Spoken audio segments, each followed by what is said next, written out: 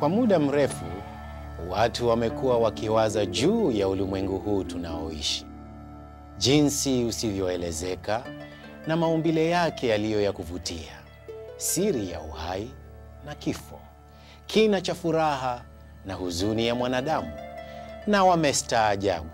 Yote haya yalikuwaje?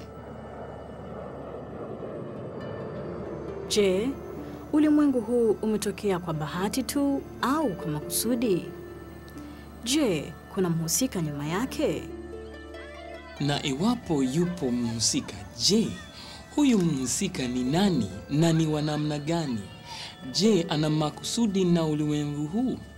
Je, yeye ana makusudi kunihusu katika ulimwengu huu? Je, yeye ana makusudi kunihusu hata baada ya ulimwengu huu? Kwa wale wanaotafuta majibu, kwa wale wanaosikiliza kwa makini, ipo sauti inatokea mbali zaidi ya ulimwengu wetu. Hapo zamani za kale, sauti hii ilisikika na kunakiliwa na zaidi ya watu 40 waliotokana na maisha mbalimbali na wakiishi kwa muda wa zaidi ya miaka 1600. Kama vipande vya fumbo la kiungu, matukio haya yalihifadhiwa kwa makini kizazi hadi kizazi, na wakati ulipofika, maandishi haya yaliwekwa pamoja katika kitabu kimoja. La kushangaza ni kwamba kutokana na kitabu hiki, hadithi moja inaibuka yenye uwiano wa milele na inayomzunguka mmoja aliye na tabia ya kipekee. Adonai. Kitabu hiki hujulikana kama Biblia. Hiki ndicho kitabu kinachonukuliwa zaidi, kinachochapishwa zaidi na kinachotafsiriwa zaidi katika historia ya wanadamu. Ndani yake kuna maelfu ya nabii ambazo hakuna hata moja iliyothibitika kuwa ni uongo. Nabii nyingi tayari zimetimia na bado kuna nabii nyingi ambazo bado hazijatimia, labda hata leo. Kitabu hiki kimewapa tumaini na msaada mamilioni wasiohesabika. Kinadai kuwa maneno yake mwenyewe yule mmoja tumwitaye Mungu. Na hii ndiyo hadithi iliyo ya ajabu kitabu hiki kinaileta kwako na kwangu.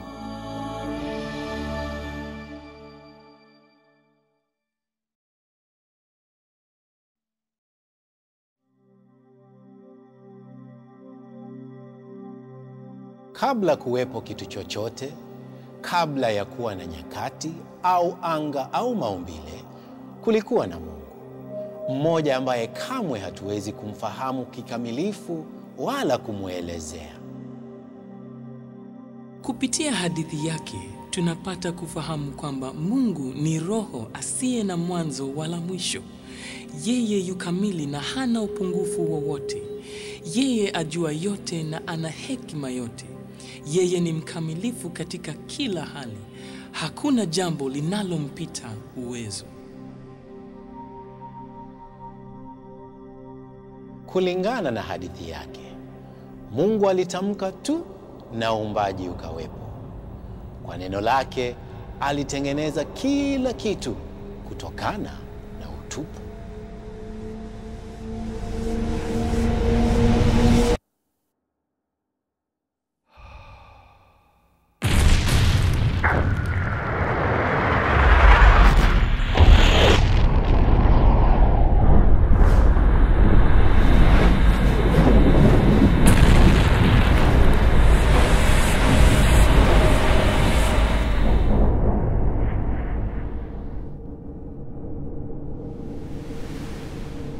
Ulimwengu tunamoishi umetengenezwa na mkusanyiko wa mabilioni na makundi makubwa ya nyota yanayoitwa galaksi. Kila galaksi huwa na mamilioni na mara nyingi mabilioni ya nyota. Moja kati ya nyota hizi ni ile yenye miali mikali ya moto iitwayo Jua. Kuna sayari tisa za kipekee zinalolizunguka Jua, ikiwemo dunia hii tunamoishi.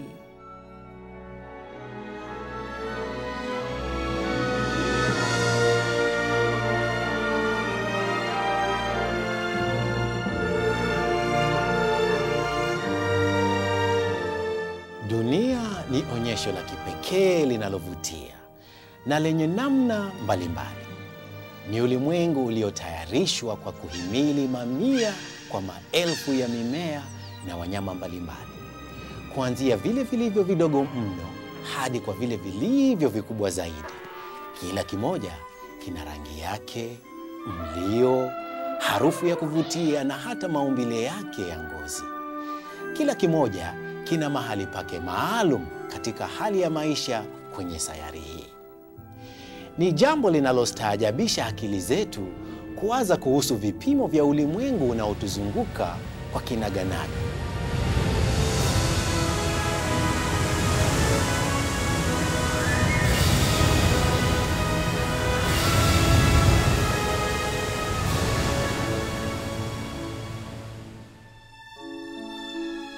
Na ni la kushangaza zaidi kuwaza kwamba kuna mmoja mwenye uwezo wa kuviumba vyote.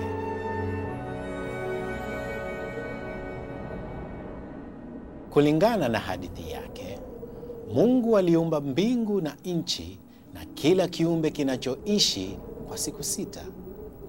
Na katika siku ya sita, baada ya Mungu kuumba kila kitu, alimuumba binadamu wa kwanza kutokana na mavumbi ya dunia.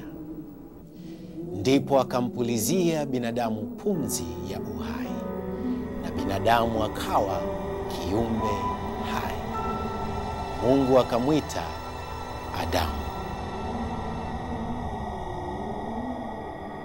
Na kutokana na mwili wa huyo mwanamume, Mungu akamuumba mwanamke wa kwanza. Adamu akamwita Hawa. Basi Adamu na Hawa wakawa tofauti na viumbe vyote vingine kwa sababu Mungu aliwaumba kwa mfano wake. Hakuwaumba wawe miungu, lakini kama vile mwezi huangaza nuru inayopata kutoka kwenye jua, vivyo hivyo Adamu na Hawa waliumbwa waangaze nuru ya Mungu. Mungu aliwabariki Adamu na Hawa na akawaweka kwenye bustani ya kuvutia katika nchi iitwayo Edeni, ambapo walikuwa na kila kitu walichohitaji. Na siku ya saba Mungu alikamilisha kazi yake hii ya uumbaji.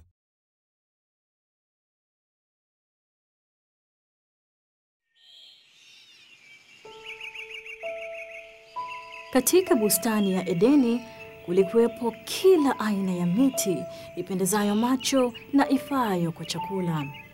Katikati ya bustani kulikuwepo miti miwili.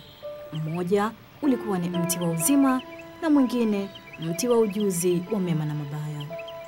Mungu akamwambia Adamu kwamba angeweza kula matunda ya mti wowote katika bustani, lakini matunda ya mti wa ujuzi wa mema na mabaya asile, kwani siku ambayo angekula hakika angekufa. Adamu alipewa uhuru wa kuchagua, uhuru ambao ni msingi katika kusudi la Mungu, kwani mwanadamu aliumbwa ili apende Mungu na pia apendwe na Mungu. Na upendo usio na hiari ya uchaguzi si upendo wa kweli. Hivyo Adamu alikuwa na uhuru wa kuonja tunda au kutoonja. Uchaguzi huu ulikuwa na matokeo, uhai ama kifo. Hata hivyo, Adamu hakuwa wa kwanza kuwa na uchaguzi wenye matokeo makuu.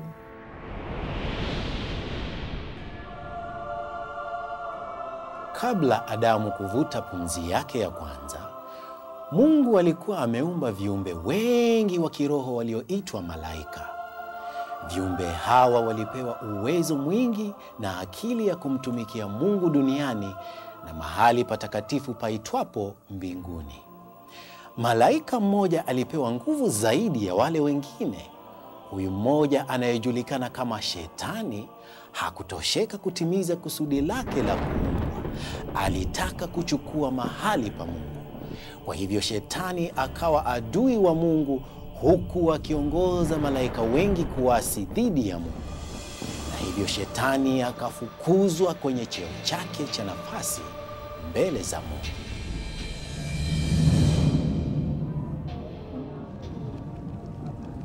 Wale malaika waliomfuata Shetani sasa wanaitwa pepo wachafu. Hata ijapo wanaweza kujifanya hao ni malaika wa nuru, ni waovu ndani ya shina. Hivi sasa shetani anajulikana na majina mengi yakiwa ni mdanganyifu, mshtaki, mjaribu na ibilisi. Shetani hawezi kumshinda Mungu kwa sababu Mungu ni mwenye uwezo wote. Na siku itafika ambapo shetani na pepo wote wachafu watatupwa mahali penye mateso ya milele ambapo Mungu amekwisha watayarishia, mahali paitwapo ziwa la moto. Lakini mpaka wakati huo shetani atafanya awezalo kumdhuru Mungu kwa kujaribu kuharibu kile ambacho Mungu anakipenda.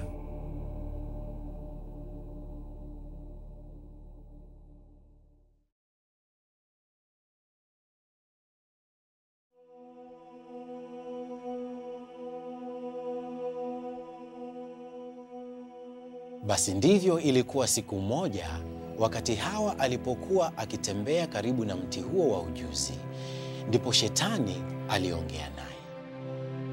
Hakuwa na woga, sababu woga ulikuwa bado haujaja duniani. Shetani akamuuliza kuhusu lile tunda walilokatazwa, na akauliza maswali kuhusu onyo la Mungu na nia yake kwa mwanadamu. Hawa alisikiliza na akaanza kumshuku Mungu. Akawaza kuhusu hilo tunda na akala. Kisha akampa hilo tunda Adamu, naye akala. Na mara tu wakautambua uchi wao na wakaona haya.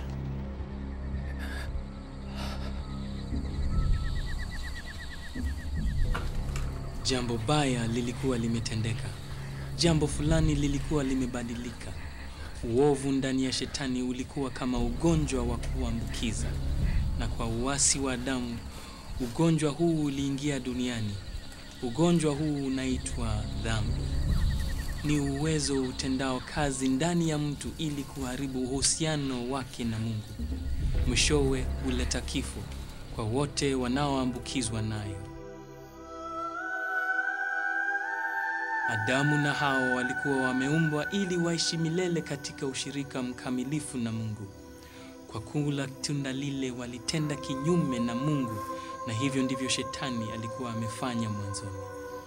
Sasa ni lazima wapitie kifo, kwanza cha kiroho na hatimaye cha kimwili. Na kupitia Adamu dhambi ingepitishwa kutoka kizazi kimoja hadi kingine na kuambukiza wanadamu wote hadi leo. Ijapo haiwezi kuonekana, dhambi ndicho chanzo cha uchoyo na mateso yote.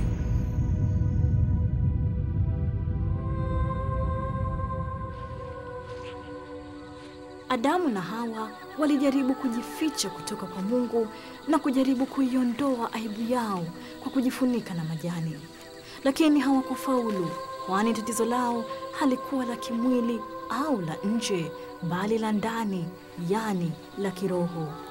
Aibu ni matokeo ya dhambi, na dhambi ilitenda kazi ndani yao kama sumu. Kwa hivyo Mungu aliwatengenezea mavazi ya ngozi ya wanyama. Haya yalikuwa mavazi yaliyokubalika. Hata hivyo, ilikuwa ni tiba ya muda tu, kwani haikuiondoa dhambi. Zaidi ya yote, mavazi haya yalilazimu mnyama afe, jambo ambalo walikuwa hawajawahi kuliona. Lilikuwa ni jambo la kutisha na kielelezo dhahiri kwamba dhambi huleta mauti. Japo hawakuweza kuelewa wakati huo, hiki kilikuwa kielelezo cha gharama ambayo hatimaye Mungu angeilipa ili kumkomboa mwanadamu kutoka katika dhambi.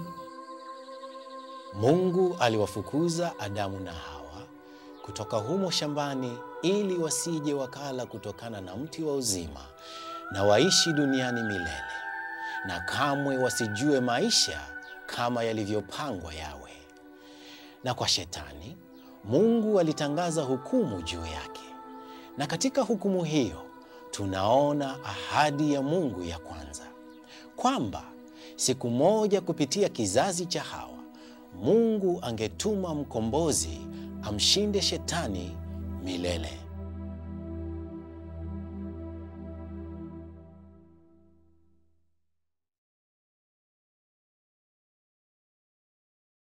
Jinsi kizazi cha Adamu kilivyoendelea ndivyo dhambi nayo ilizidi.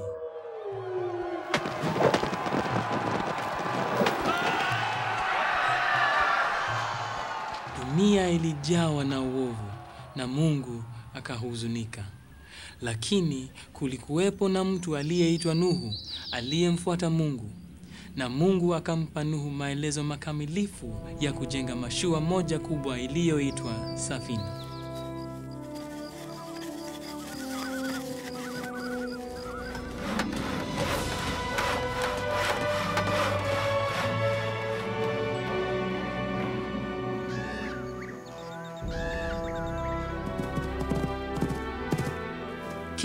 Mungu akatuma kila aina ya mnyama, mume na mke, aingie kwenye safina.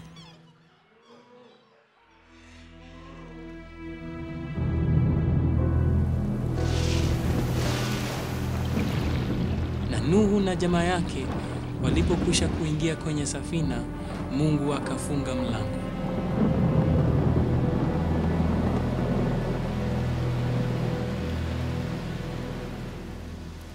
Ndipo Mungu akafanya mvua inyeshe kwa siku arobaini mchana na usiku, huku dunia mzima ikijawa na mafuriko na kuharibu kila kitu kilichoishi duniani.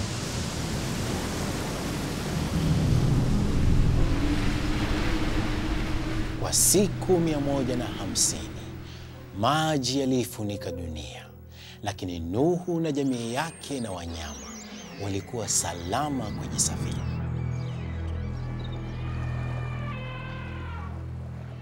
Mwishowe maji yalipopungua, safina ilitua kwenye mlima na wanyama wakaenda zao.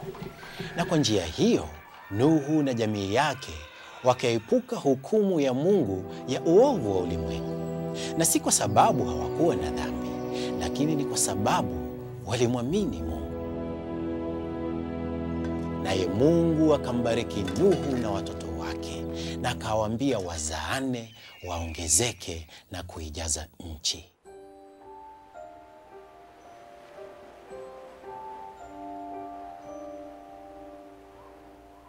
Kizazi cha Nuhu kiliongezeka sana, lakini walibaki wamoja. Hawakuijaza nchi kama Mungu alivyowaamuru. Badala yake walijenga mji, kisha wakajenga mnara uliofika mawinguni. Mungu hakufurahishwa.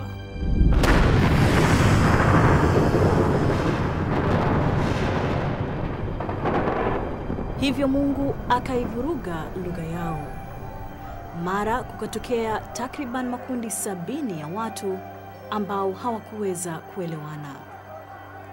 Kisha Mungu akatawanya makundi haya duniani kote, na huu ulikuwa ndio mwanzo wa lugha na mataifa ya ulimwengu.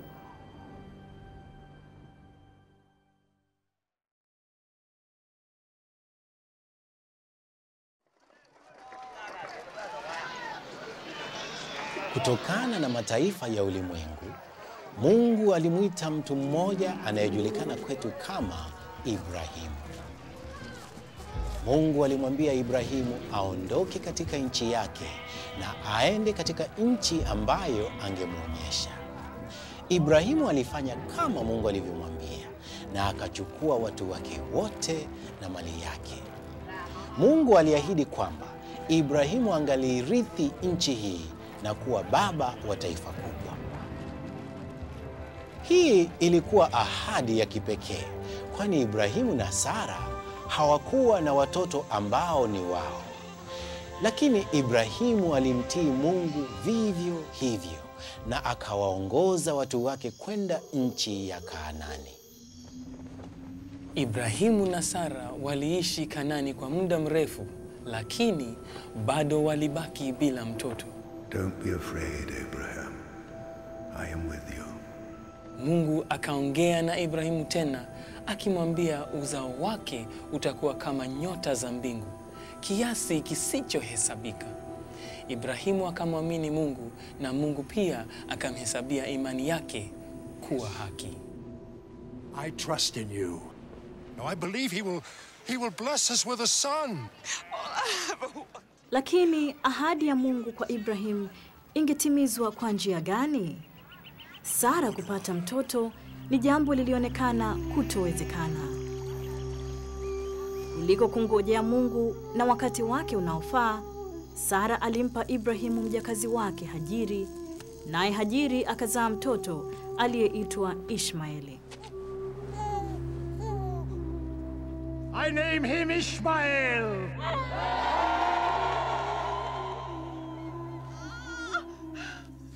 Hatimaye, kama Mungu alivyoahidi, Sara naye alipata mtoto kutoka kwa Ibrahimu. Son. Wakamwita Isaka. I have a son. I name him Isaac. What's he done? Take him away. They are brothers. Naye Sara akajawa na uchungu kuhusu Hagari na Ishmaeli. Get out of my sight! Ibrahimu akahuzunishwa. Abraham, Lakini Mungu akamwambia Ibrahimu asifadhaishwe, kwani Ishmaeli angekuwa baba wa taifa kubwa, na kupitia Isaka Mungu angetimiza ahadi yake ya kubariki mataifa yote. Nayo miaka ikapita. Basi katika siku hizo ilikuwa desturi ya wale waliomwamini Mungu kutoa sadaka ya mnyama kama kitendo cha ibada. Desturi hii ilianza huko nyuma na watoto wa Adamu na Hawa ambao huenda walipata habari kuhusu yule mnyama aliyechinjwa ili ngozi yake ifunike uchi wa baba na mama yao. Na basi ikawa siku moja Ibrahimu na mwanaye walijitayarisha ili kutoa sadaka kwa Mungu. Mtoto wa Ibrahimu alikuwa mkubwa sasa na huenda alikuwa amefanya kitendo hiki mara nyingi. Lakini wakati huu ulikuwa tofauti.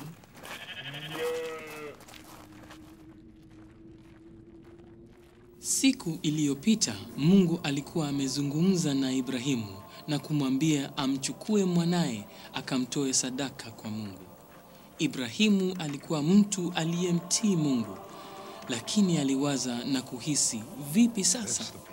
Walikuwa na kuni na kisu, lakini sadaka iko wapi? Mwanaye akauliza.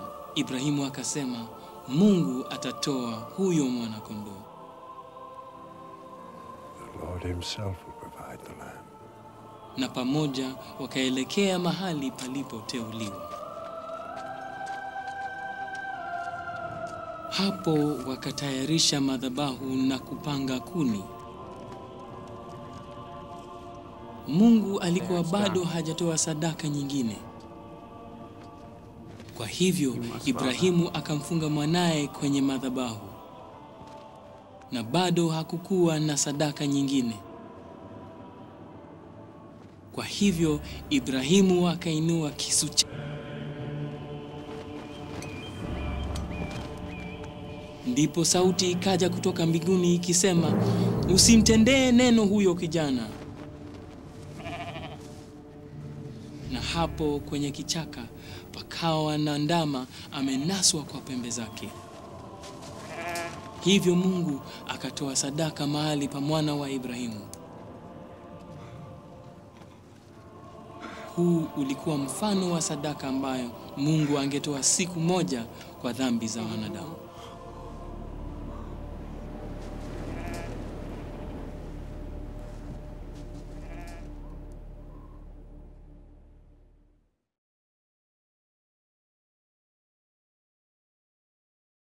Mungu aliahidi kumbariki Ibrahimu na kupitia yeye kubariki mataifa yote ya dunia. Mungu alipeana ahadi kama hiyo kwa mtoto wa Ibrahimu Isaka na mtoto wa Isaka Yakobo. Sasa baada ya miaka mingi, Yakobo alikuwa na watoto kumi na mbili. Lakini kulikuwa na mtoto mmoja aliyeitwa Yusufu ambaye alimpenda sana. Na basi nduguze Yusufu walimwonea wivu sana. Kwa hivyo walimkamata Yusufu na kumtupa kwenye shimo. Baadaye wakamuuza Yusufu kwa wafanyi biashara waliokuwa wakielekea kwa nchi iliyoitwa Misri. hao nduguze wakachovya nguo zake kwenye damu na kumwambia baba yao kwamba Yusufu ameliwa na mnyama wa mwitu.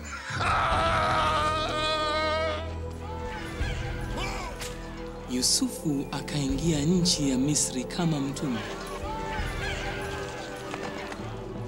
Lakini huko Misri, Mungu alimweka Yusufu katika utumishi wa watu wenye mamlaka. Wakati ulipotimia, Yusufu aliitwa mbele ya mtawala wa Misri yote ambaye aliitwa Farao. Yusufu aliulizwa atafsiri ndoto. Mungu alimpa Yusufu tafsiri iliyo sawa kuhusu njaa kubwa ambayo ingeikumba dunia. Naye Farao alipendezwa na Yusufu na hivyo basi akamweka Yusufu katika mamlaka juu ya nchi ya Misri.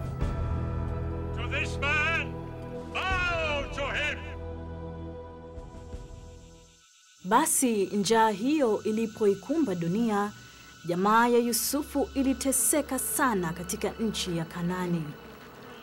Lakini huko Misri Yusufu alikuwa amejaza magala. Na ingawa Yusufu alikuwa amesalitiwa na ndugu zake, bado aliipenda jamaa yake sana.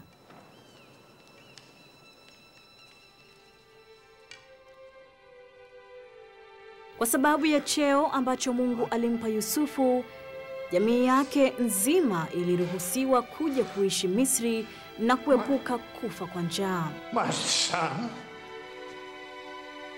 My beloved son. Basi ikawa kwamba watu ambao Mungu aliahidi kubariki mataifa kupitia wao wakaja kuishi katika nchi ambayo haikuwa yao. Miaka 350 baadaye, uzao wa Ibrahimu, Isaka na Yakobo bado walikuwa Misri.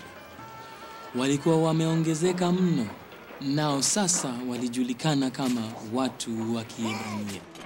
Na wakati huu akainuka Farao mwingine ambaye aliogopa kwamba Waebrania wamekuwa wengi sana.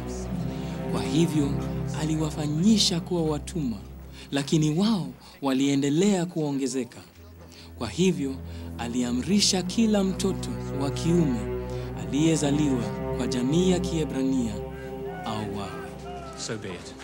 Bila shaka shetani alikuwa katika mpango huu, lakini Mungu alikuwa na mpango wa juu zaidi.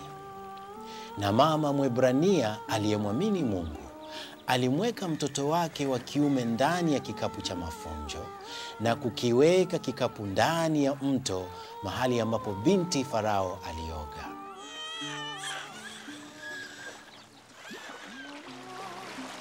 Wakati binti Farao aliona mtoto huyo wa Kiebrania, alimchukua. Baadaye binti Farao alimchukua mtoto huyo kama wake, akamwita Musa, na mtoto huyu wa Kiebrania akakuwa kama mwana wa mfalme wa Misri. On your feet. Sasa Musa alipokuwa mtu mzima, aliona Misri akimpiga Mwebrania. Kwa hivyo akamuua huyo Misri.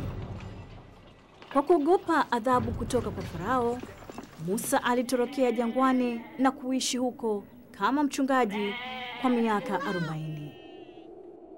Ndipo siku moja Mungu akamtokea Musa katika mwali wa moto kwenye kichaka, lakini kichaka hicho hakikuteketea. Na Mungu akaongea na Musa kutoka katika kichaka hicho. Moses, I am here. Mungu alimwambia Musa arudi kwa watu wake na awaongoze kutoka Misri. Mungu aliahidi kuwa naye. Musa aliogopa, lakini alimtii Mungu. Musa akarudi Misri. Pamoja na ndugu yake Haruni, Musa alienda mbele ya Farao. Lakini moyo wa Farao ukawa mgumu kwa Waebrania na akakataa kuwaruhusu waondoke Misri. Kwa hivyo Mungu akatuma mfululizo wa mapigo mabaya juu ya Misri. Lakini hakuna pigo hata moja lililowagusa Waebrania.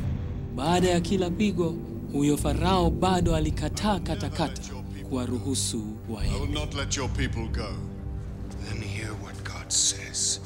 Basi Mungu akaamuru kila jamaa wa Kiebrania kuchinja kondoo na kupaka damu ya kondoo juu ya mlango wa mahali walipoishi. Na ndipo Mungu akatuma kifo kwa kila mzaliwa wa kwanza katika nchi, isipokuwa wale waliokuwa kwenye nyumba zenye damu juu ya mlango, kama ilivyokuwa na Adamu na Hawa bustanini na Ibrahimu na mwanawe mlimani.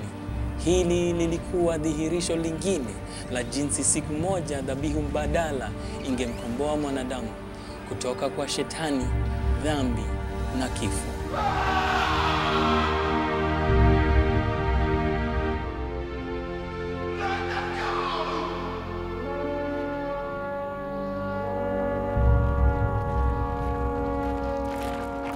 Mwishowe, huyo Farao akaliacha huru taifa la Waebrania, nao watu wakaondoka toka Misri. Lakini huyo Farao akabadili moyo wake, huku akiwa na jeshi lake aliwafuata watu wa Kiebrania mpaka ukingo wa bahari.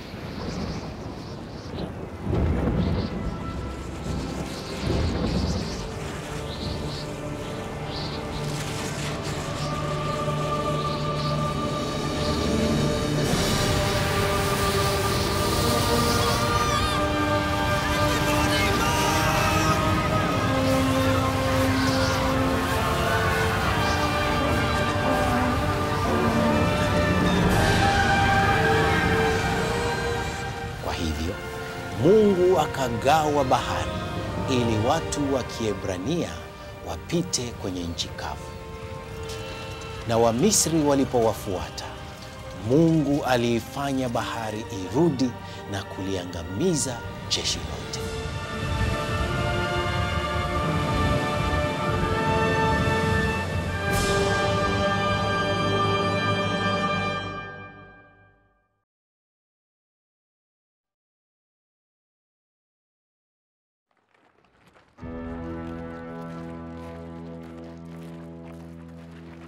Kutoka Misri, Mungu aliwaongoza watu hawa Waebrania hadi kwenye mlima Sinai uliokuwa jangwani. Ni hapa ambapo Mungu alisema ikiwa Waebrania wangemtii, basi wangebarikiwa na kuwa tunu yake na wangemwakilisha kwa mataifa yote duniani. Nao wakasema watafanya lolote lile ambalo Mungu amewaagiza. Hivyo basi Mungu akashuka juu ya mlima kwa ngurumo na radi na kwa moshi na moto, naye Musa akapanda juu mlimani kukutana na Mungu. Basi kwenye vibao vya mawe Mungu aliandika sheria za jinsi ya kuishi na kupata baraka. Akampatia Musa ili awape Waebrania. Ilikuwa ni imani takatifu na wito mtakatifu, kwani sheria hizi zilikuwa njia za Mungu. Sasa Mungu alifahamu kwa sababu ya dhambi ambayo ilikuwa imemwambukiza mwanadamu, watu hawangeweza kutunza sheria hizi. Kwa hivyo Mungu akamwambia Musa jinsi ya kujenga mahali patakatifu ambapo uwepo wake ungedumu kati yao, na watu wangeleta wanyama ili wachinjwe kama sadaka ya dhambi. Damu ya wanyama ingekuwa kama kifuniko ili Mungu asiangalie juu ya dhambi zao. Lakini ijapo sadaka hizi zilifunika dhambi, hazikuondoa dhambi.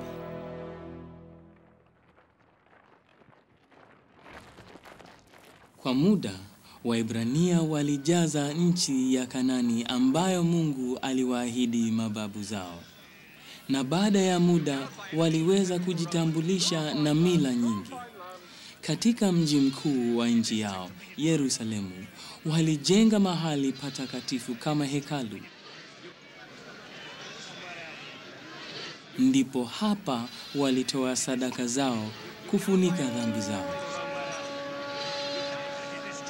Kwa zaidi ya miaka elfu moja Waebrania walijaribu kuishi kama vile Mungu alivyowaamuru, lakini mara nyingi walimkosea Mungu na hata wakati mwingine walifuata miungu isiyo ya kweli.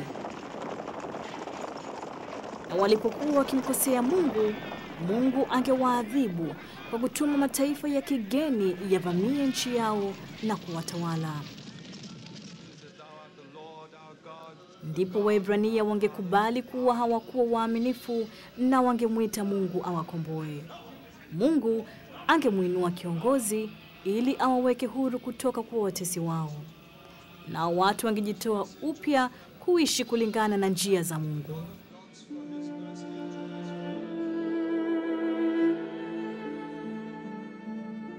Kutoka kwa baraka hadi utumwani na kutoka kwa baraka hadi utumwani na kurudia na kurudia na tena na tena. Waebrania walikuwa wameitwa na Mungu ili kuonyesha ulimwengu vile Mungu alivyo, lakini kwa sababu ya ile dhambi iliyoambukiza ulimwengu, hawakuweza kutembea kwa njia za Mungu bila kuanguka. Katika bustani ya Edeni, Mungu aliahidi atatuma mkombozi. Kupitia kwa manabii wa Kiebrania, Mungu alitoa mamia ya ahadi kuhusu huyu mkombozi ambaye siku moja angemshinda shetani, dhambi na kifo milele. Huko hekaluni, moshi uliotoka kwenye dhabihu ulipaa siku baada ya siku, mwaka baada ya mwaka, kizazi baada ya kizazi, kuwapatia Waebrania kumbusho lisilokoma la hitaji la mwanadamu la mkombozi. Lakini je, angekuja lini? Angekuja kwa njia gani? Kufikia sasa, baadhi wameanza kuona shaka kama kweli atakuja.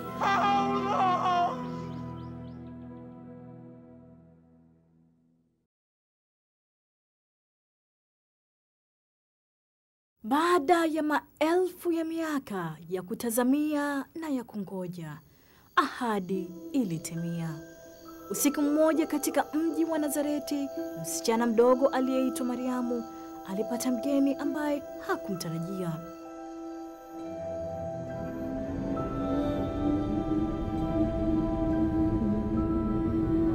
Malaika kutoka kwa Mungu alimwambia kwamba atapata mtoto naye angemwita Yesu. Maana yake ni Bwana ndiye mkombozi wetu. Sasa kwa kuwa alikuwa Mwebrania, bila shaka Mariamu alifahamu kuhusu mkombozi aliyeahidiwa. Alishangaa na akasumbuka. Inawezekanaje? Akauliza, kwani mimi ni bikira? Malaika akamwambia kwamba mtoto atazaliwa kwa uweza wa Roho wa Mungu, naye ataitwa mwana wa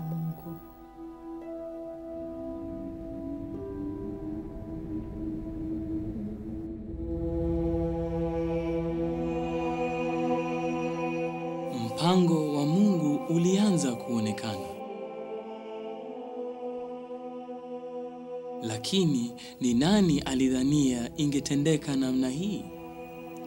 Kutokana na ahadi za Mungu za kitambo, mmoja angeweza kudhania ya kwamba ili kuishinda dhambi, mkombozi angekuwa bila dhambi, kama tu vile Mungu hana dhambi. Lakini ni nani alitarajia kwamba yule mkombozi aliyeahidiwa nyakati zilizopita angekuwa Mungu mwenyewe akiwa na mwili wa mwanadamu?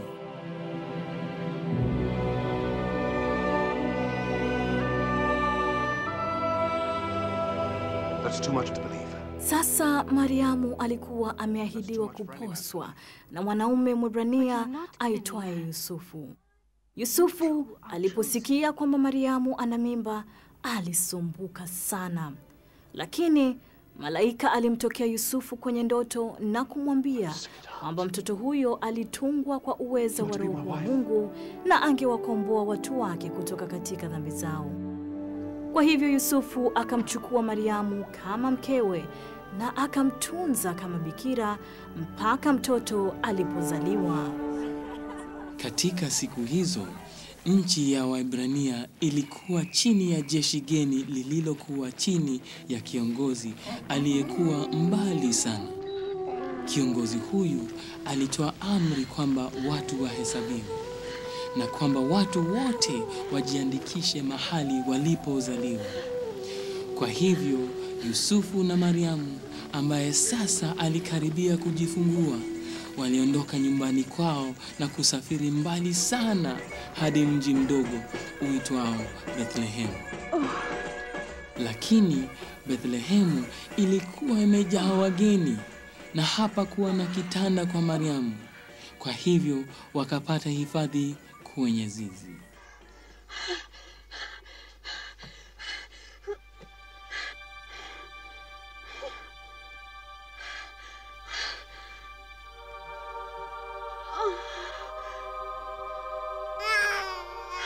Basi ikawa kwamba mkombozi aliyeahidiwa mwana wa Mungu alikuja ulimwenguni kama mtoto mchanga katika hali ya unyenyekevu. Miaka mingi hapo nyuma, nabii wa Kiebrania walitangaza kwamba bikira atazaa mwana ambaye angetawala juu ya Waebrania. Na kuhusu mtoto huyu ilisemekana kuja kwake ni kwa kitambo, toka siku za milele. Na kama Mariamu alivyoambiwa, walimwita mtoto Yesu.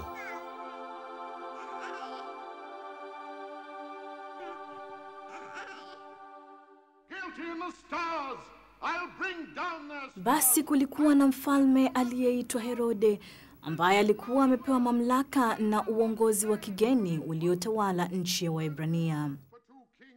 Herode alikuwa mtu mwovu, na baada ya kusikia kuhusu mtoto huyu ambaye ati ni mfalme, Herode alitangaza kwamba watoto wote wa kiume wenye umri wa miaka miwili kwenda chini katika eneo lile alilozaliwa Yesu wauawe.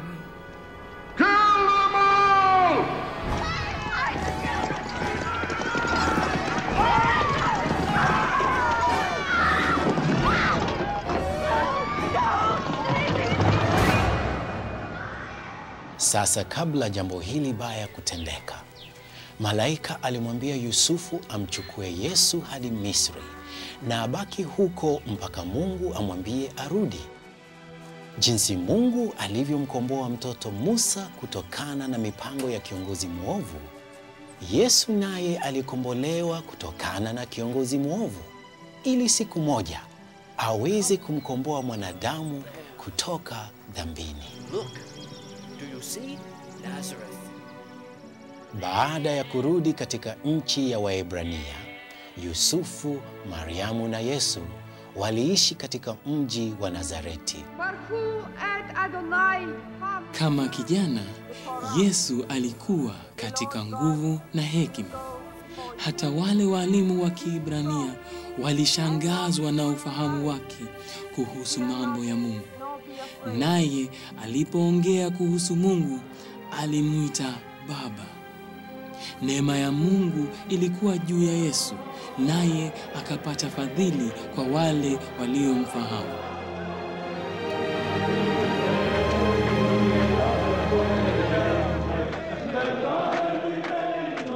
Jinsi Yesu alivyoendelea kukua toka utotoni hadi utu uzima, alibaki bila dhambi.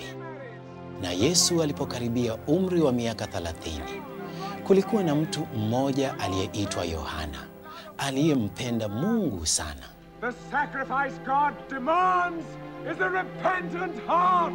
What do we do then to be saved? Change your hearts. Miaka mingi iliyopita, manabii wa Kiebrania walitabiri kwamba mtu kama Yohana angetumwa na Mungu ili kuitayarisha njia ya mkombozi. Yohana angekuwa wa kwanza kuongea kuhusu Yesu kama mwanakondoo wa Mungu aondoaye dhambi za ulimwengu. Akitangaza kwamba ufalme wa mbinguni umekaribia, Yohana aliwaita watu waishi kulingana na njia za Mungu. Watu walipoukubali mwito wa Yohana wa kumwishia Mungu, walishiriki katika ishara iitwayo ubatizo, ambapo walitumbukizwa kwa maji. Hii ilifanyika kudhihirisha utakaso na kujitolea kuishi kulingana na sheria za Mungu.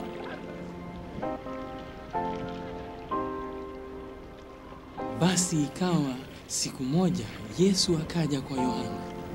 Akijua Yesu ni nani, Yohana aliomba abatizwe naye. It is I who, who need baptism from you. And yet you come to. Lakini wakati wa kubatizwa kwa jina la Yesu ulikuwa haujatimilika, naye Yesu akabatizwa na Yohana.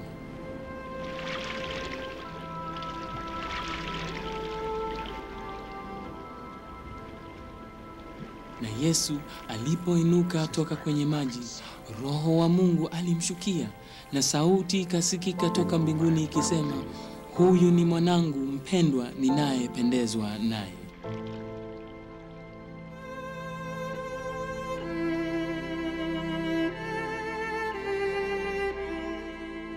Naye Yesu akaondoka kwenda nyikani ili ajaribiwe na Shetani. Lakini Yesu angempinga na Shetani angetoroka. Tukio hili la nyikani lilikuwa jaribio. Kama vile vito vya thamani hujaribiwa ili thamani yake ijulikane, jaribio hili lilikuwa thibitisho kwamba Yesu kwa hakika alikuwa mwana wa Mungu aliyekuja duniani kutimiza mapenzi ya Baba yake.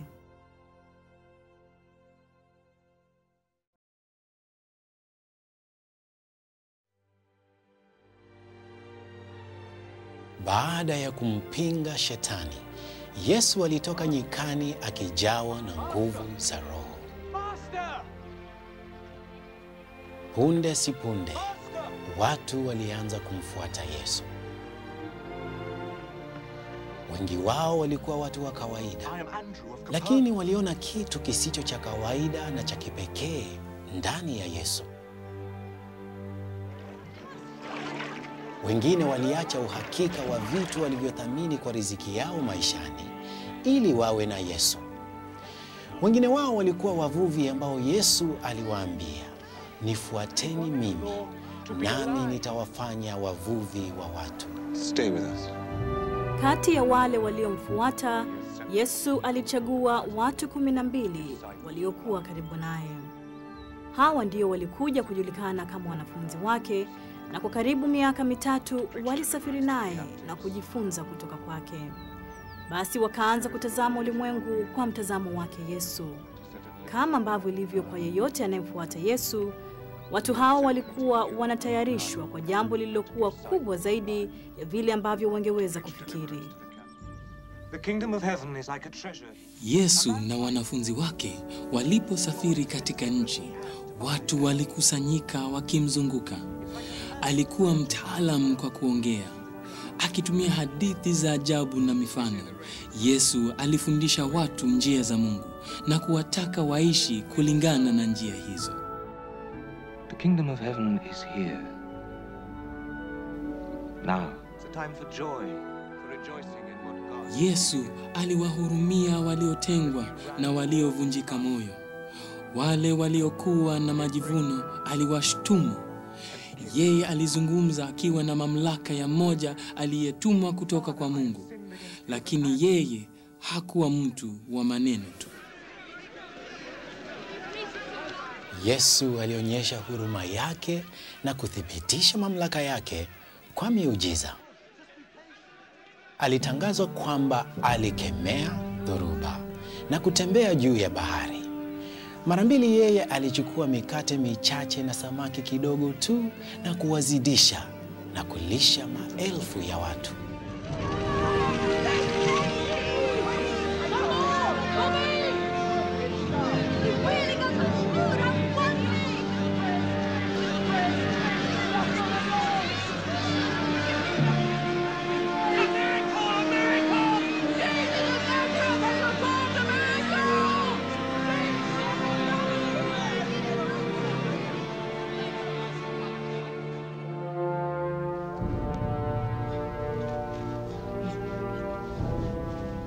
Yesu aliwaponya vipofu, aliwaponya viwete na akawaponya watu magonjwa mabaya.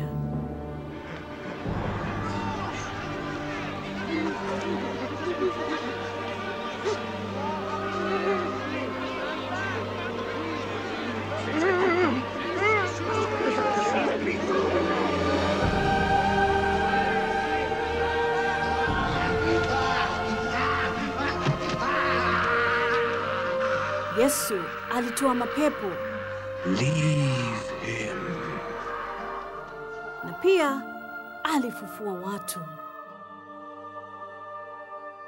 Kwa miaka thelathini Yesu alikuwa ameishi maisha ya kutojulikana, lakini sasa alidhihirisha uwezo wake juu ya ulimwengu wa roho juu ya uzima na mauti.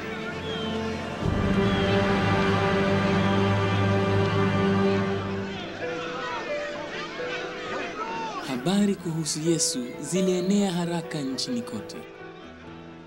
Miaka mingi huko nyuma, nabii Mwebrania alikuwa ameandika kwamba kwa kuja kwake mkombozi aliyeahidiwa na Mungu, vipofu wangeona, viziwi wangesikia, viwete wangeruka kama swala, na mabubu wangepiga makelele ya furaha, nazo habari njema zingetangazwa.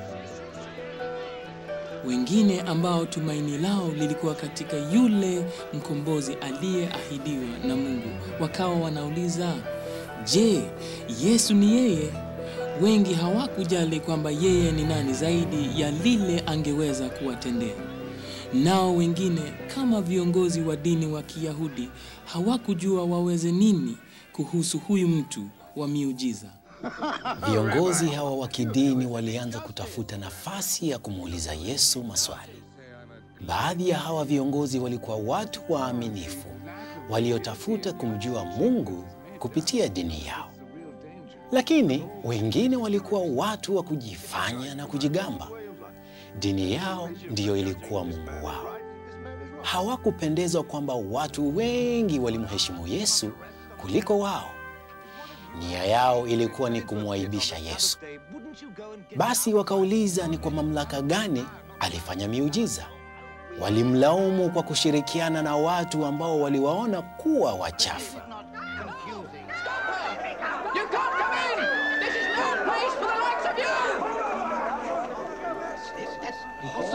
Yes, yes, it's her.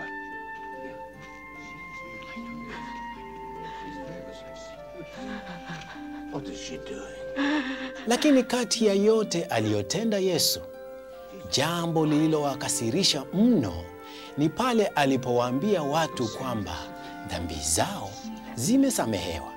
And I know they are many. Ni Mungu pekee mwenye mamlaka ya kusamehe dhambi.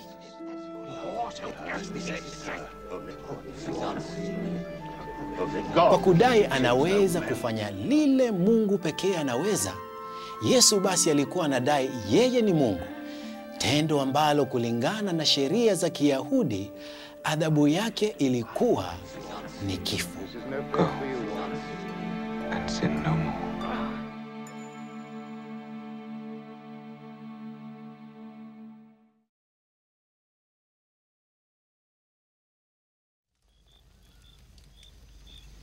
Basi vile mabishano kumhusu Yesu yalivyozidi, yeye alianza kuwaelezea wanafunzi wake asili halisi ya mwito wake.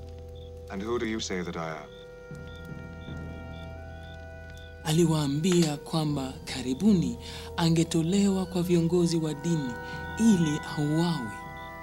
Baada ya siku tatu angefufuka kutoka kwa wafu. Wanafunzi wake walisikia yale aliyosema, lakini hawakuweza kuelewa maana kamili ya maneno yake.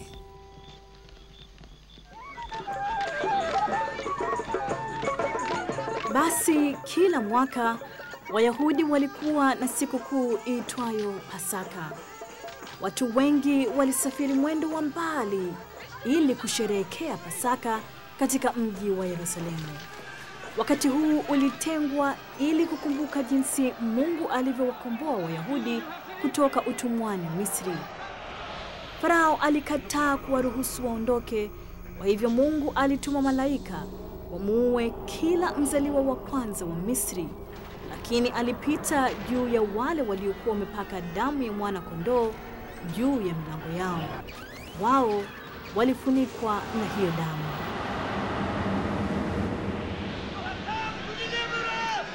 Basi ikawa Yesu ambaye Yohana alimwita mwana kondoo wa Mungu, naye pia alienda Yerusalemu kusherehekea Pasaka. Kwa sasa Yesu alikuwa anajulikana sana, na watu walisherehekea kuingia kwake, nao wakapaza sauti Hosana, inayomaanisha tuokoe sasa. Huu ndio wakati mmoja tu Yesu aliruhusu makaribisho yafanywe kwa niaba yake, lakini alikuwa na sababu. Alifahamu viongozi wa kidini wasingefurahishwa. Alikuwa akiwasogeza hatua moja karibu kwa sehemu ya mpango wao ambao uliwekwa kitambo. Come to me. Na siku zilizotangulia Pasaka, Yesu aliendelea kuwahudumia watu. Viongozi wa dini walimchunguza kwa makini. Wachache wao walivutwa kwa Yesu, lakini wengi wao walitaka tu aondolewe. Kwa miaka, viongozi wa dini waliongeza sheria zaidi kwa zile sheria ambazo Mungu alikuwa amempa Musa. This man! To you, scribes and Pharisees! Na Yesu alipowakabili waziwazi viongozi hawa wa dini kwa vile walivyofanya iwe vigumu kumfuata Mungu, uadui ulizidi. How can any of you escape damnation? Blessed is he who comes in the name of the Lord. For I and my Father are one and the same. He is a blasphemer! Viongozi wa dini hawangeweza kungojea zaidi jinsi vile wangefanya na Yesu. Kwa hivyo wakaita mkutano. Hao waliogopa kwamba kama Yesu angeruhusiwa aendelee kuwachochea watu, basi uongozi ule wa kigeni uliotawala nchi yao ungeingilia jambo hili na kuchukua sehemu yao katika uongozi. Na swali lililokuwa mbele yao sasa halikuwa ikiwa ni wamwondoe Yesu, bali lilikuwa ni kwa njia gani. Kwa hivyo wakafanya mpango. Yesu aliwakusanya wanafunzi wake kusherehekea Pasaka. This is my body.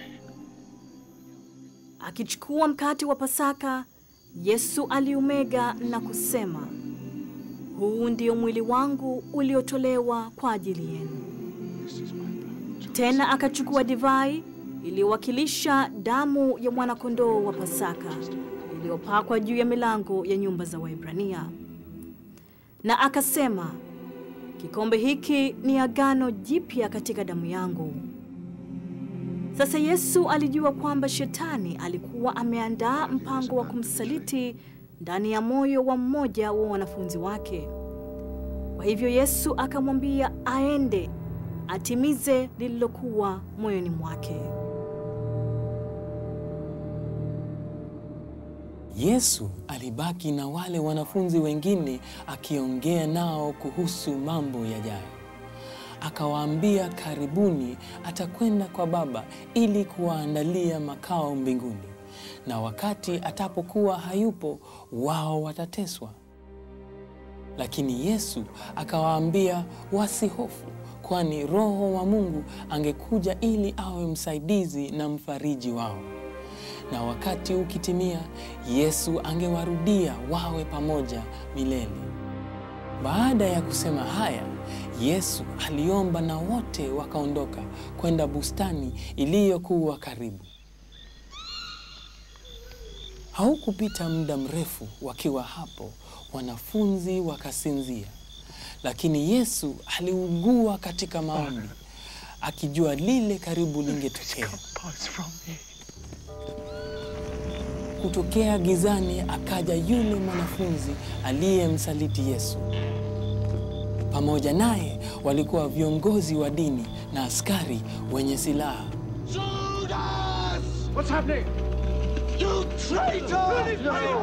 Wakati mmoja wa wanafunzi wake alipojaribu kumtetea Yesu, Yesu alimsimamisha akisema kwamba angeitisha maelfu ya malaika wamtetee, na Yesu akawafuata kwa hiari yake.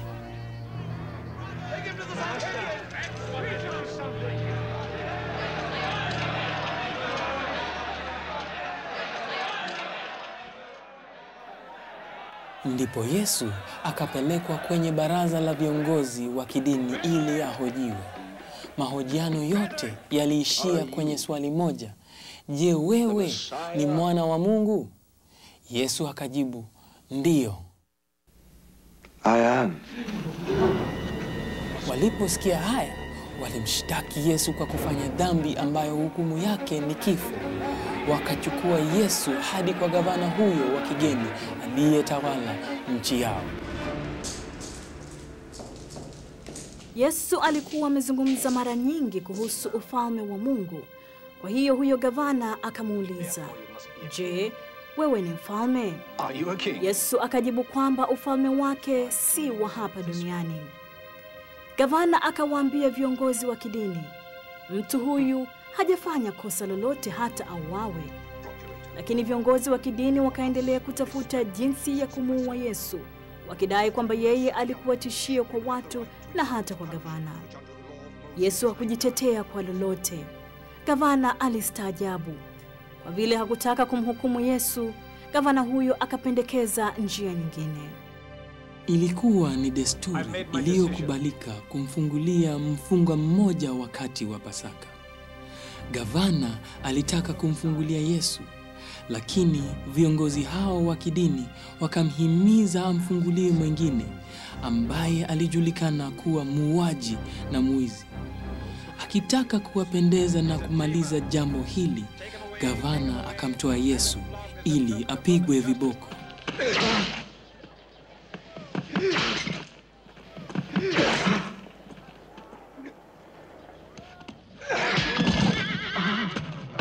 Na baada ya kumpiga Yesu viboko vikali, askari walimvisha joho la zambarau.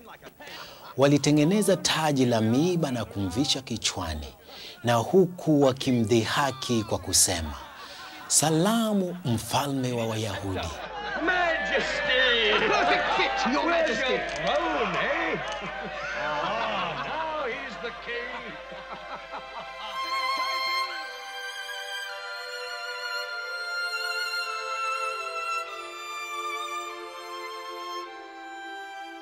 Yesu akarudishwa tena kwa yule gavana ambaye bado alitaka kumfungulia, lakini bado viongozi wa kidini walitaka Yesu afe. Kufikia sasa, umati ulikuwa umekusanyika nje. Kwa hivyo gavana akaenda nje na kuuliza umati afanye nini na Yesu, lakini kwa vile umati ulikuwa umechochewa na viongozi wa kidini, wakapaza sauti wakisema asulubiwe. Baada ya kuwaruhusu watu wachague, gavana alimtoa Yesu kwao ili auawe.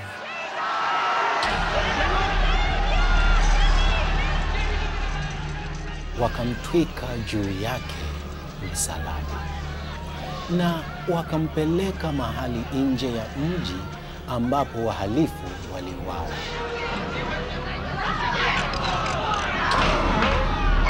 Baada ya kumpigilia misumari kwenye msalaba huo, walimuinua ili afe.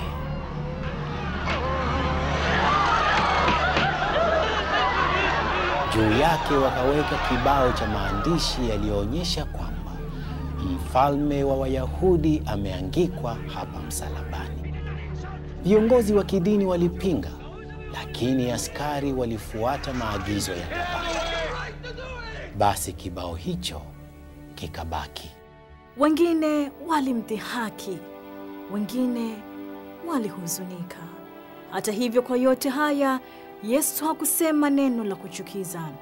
Badala yake, akiongea na Baba yake wa mbinguni, akasema, wasamehe, kwani hawajui lile watendalo. Kwa masaa matatu giza lilifunika nchi. Ilikuwa haieleweki. Hata hivyo, ilieleweka kabisa. Mungu ni mwema na wa haki na mtakatifu. Hangeukubali ule uovu ulioingia ulimwenguni kupitia Shetani, wala hangeukubali uovu uliomwingia mwanadamu kupitia Adamu. Kwa kufanya hivyo, angekuwa amekwenda kinyume na tabia yake na kupotosha asili yake. Lakini Mungu ni upendo. Aliwaumba watu ili awapende nao wampende. Kwa Mungu kuhukumu watu kwa uovu ulio ndani yao ingekuwa ni kuviharibu vielelezo vya upendo wake. Hili lilikuwa ni tatizo la uwiano wa kiungu, lakini kulingana na hadithi yake, wakati huu ulikuwa umepangwa hata kabla ya uumbaji na ulikuwa umeshatabiriwa. Pale msalabani, Yesu alibeba dhambi zetu, alilipa adhabu ya dhambi zetu. Yeye alikufa badala yetu. Pale msalabani, haki ya Mungu ilitoshelezwa na upendo wake kutimilika. Yesu akasema, imekwisha, naye akainamisha kichwa chake na akakata roho.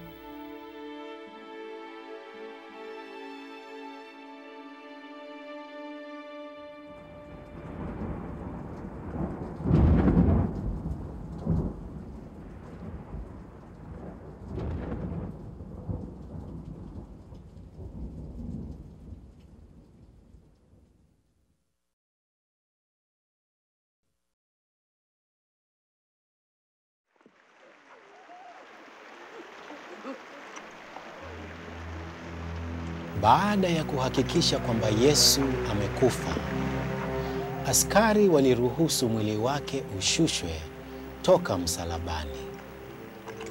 Kufikia mwisho wa siku, mwili wake ungewekwa kaburini na lango lake kufungwa na jiwe kubwa. Kwa vile viongozi wa dini walisisitiza, askari waliwekwa ili kulichunga kaburi. Kwa wale waliompenda Yesu, huu ulikuwa wakati wa kuchanganyikiwa na msiba mkubwa. Asubuhi ya siku ya tatu baada ya Yesu kusulubiwa, kundi la kina mama walikwenda kutembelea kaburi. Hawakuwa wa kwanza. Asubuhi na mapema siku hiyo, malaika wa Mungu alishuka kutoka mbinguni. Askari waliokuwa wakililinda kaburi wakapigwa na hofu, na malaika akaliondoa jiwe lililokuwa likifunika mlango wa kaburi. Where are you going? Jesus is not there.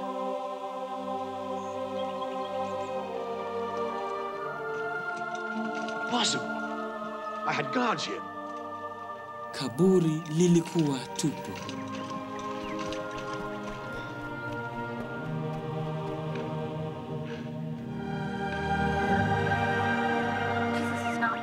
Kama alivyoahidi, Yesu alikuwa amefufuka toka kwa wafu.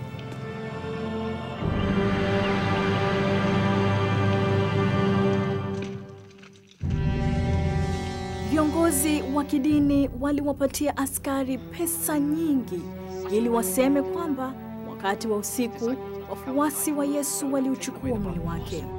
Wakawaahidi kwamba ikiwa jambo hili lingemfikia gavana, wangeshinda na kuwaondoa askari matatani. Askari walichukua pesa, lakini ukweli usingeweza kufichwa.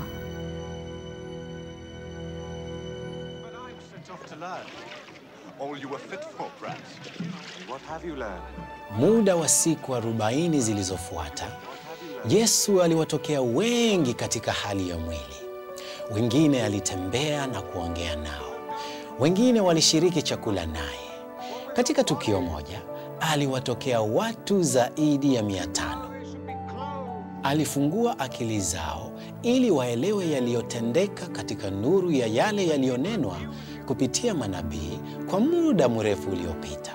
Alieleza kwamba ilimpasa afe na afufuke tena ili msamaha wa dhambi upatikane. Pia aliongea kuhusu ufalme wa Mungu akisema kwamba uwezo wote mbinguni na duniani amepewa yeye. Your captivity is over. Sasa wakati ulikuwa umefika wa Yesu kwenda kwa Baba na kutayarisha mahali mbinguni kwa wote wale wanaompenda. Yesu aliwaahidi wafuasi wake kwamba punde Roho wa Mungu angekuja na kuwatia nguvu ya kutangaza ukweli wake, upendo na msamaha kwa ulimwengu wote. Baada ya kusema haya, Yesu aliwaacha na kupaa mawinguni.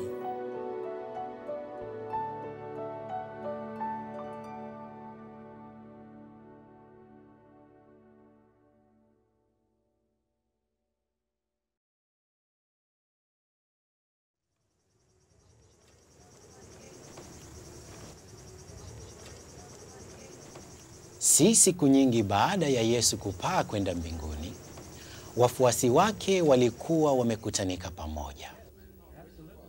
Kwa ghafla, sauti ikasikika toka mbinguni kama ya upepo mkali ukiijaza nyumba yote.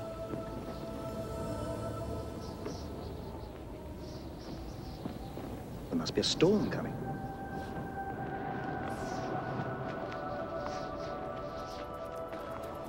Wakaona vitu vilivyoonekana kama ndimi za moto vilivyotua juu ya kila mmoja wao. Nao wakajazwa na Roho Mtakatifu wa Mungu na wakaanza kuongea kwa lugha mbali na zile zao. Kama vile Yesu alivyoahidi, wafuasi wake hawakuwa peke yao, kwani uwepo wake ulikuwa ukidhihirishwa ndani yao na Roho wa Mungu akiwajaza. Na huko mitaani kulikuwa na watu kutoka mataifa mengi, na kila mmoja wao na katika lugha yake walisikia wafuasi wa Yesu wakitangaza maajabu ya Mungu.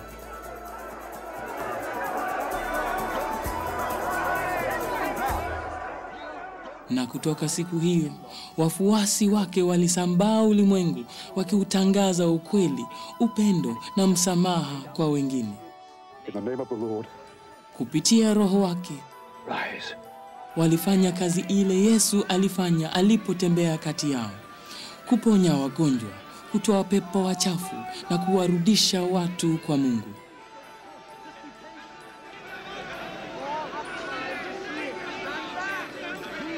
Na idadi yao ikaongezeka kila siku.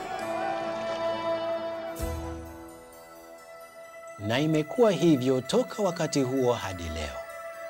Wakati wowote mtu atamgeukia Yesu kwa imani kama mwanakondoo wa sadaka wa Mungu na Bwana aliyefufuka, dhambi zao zinasamehewa na Roho wa Mungu huja ndani yao akiwaletea uzima wa milele.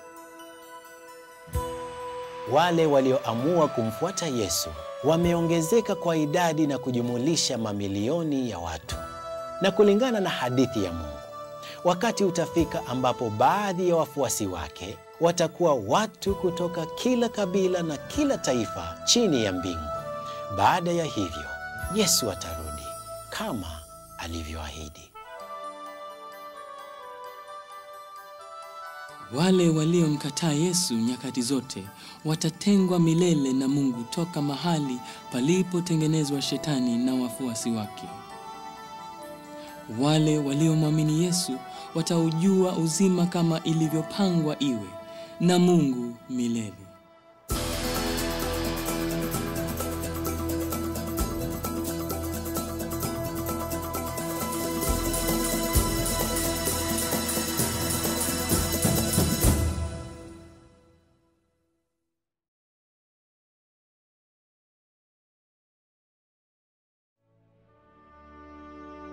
Sasa umesikia hadithi ya ajabu mno ambayo imesimuliwa.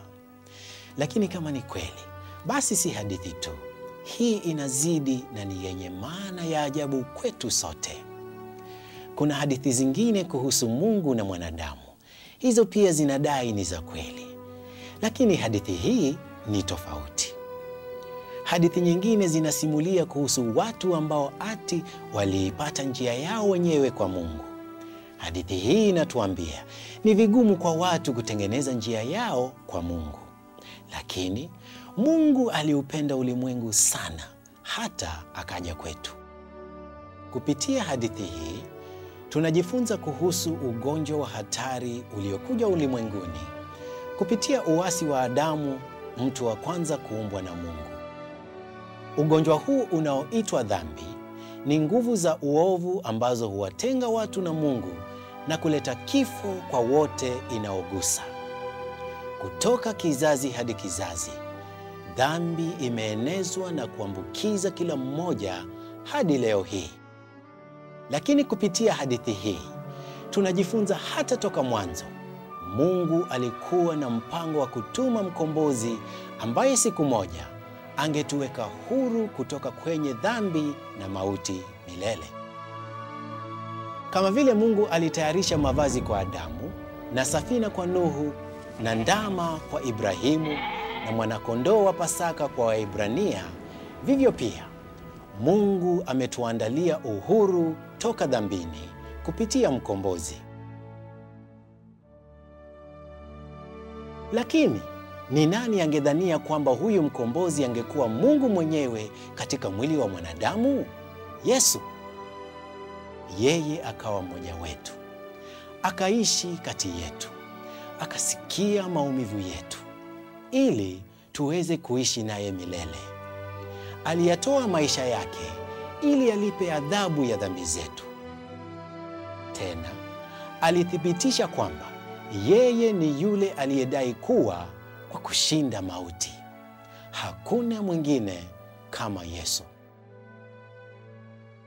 Naye anapenda aifanye hadithi yake iwe hadithi yako. Anakukaribisha wewe uje umfuate. Yeye anakupatia msaada kwa leo na tumaini la kesho. Mwaliko wake hautakuwa wazi milele, lakini uko wazi kwako sasa. Kwa nini usiseme ndiyo? Ukiwa unataka kumjua na kumfuata Yesu, basi mwambie hivyo tu. Kiri kwake uhitaji wako wa msamaha. Weka imani yako kwake kama yule aliyekufa kwa dhambi zako, ili uweze kupatanishwa na Baba yako wa mbinguni anayekupenda. Pokea Roho wa Mungu na mruhusu aongoze maisha yako, na utakapofanya hivyo, maisha yako yatakuwa na kusudi na shauku zako zote zitatoshelezwa na utaleta utukufu.